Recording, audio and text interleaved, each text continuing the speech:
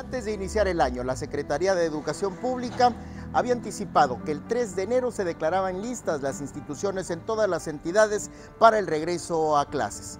Entonces, la Secretaría de Educación del Estado de Chiapas no tenía definida la fecha exacta. Muchas escuelas anticipaban que el regreso sería el 10 de enero.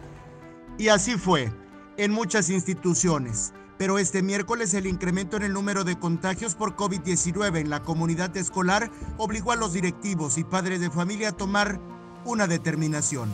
Al menos tres escuelas de Tuxtla Gutiérrez informaron que suspenderían las clases presenciales. A través de un comunicado, el Centro de Educación Básica del Estado de Chiapas, doctor Belisario Domínguez Palencia, informó. Derivado del consenso emitido en los grupos de padres y madres de familia, muy atentamente les hacemos de su conocimiento que debido al alto nivel de contagios de COVID que prevalece, en reunión de Consejo Técnico Escolar se decidió suspender clases presenciales a partir de esta fecha hasta el 8 de febrero del año en curso.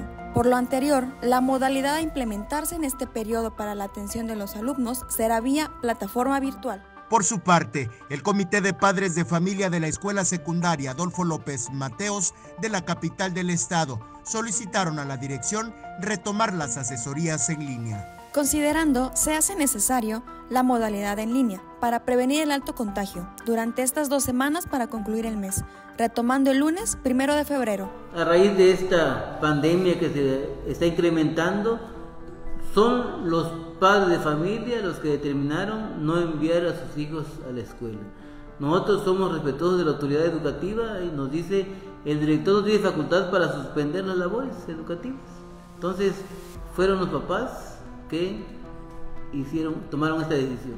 Una situación similar prevalece en la secundaria Joaquín Miguel Gutiérrez de la misma ciudad. Con imágenes de Christopher Canter y Efren Saldaña, Eric Ordóñez, Alerta Chiapas.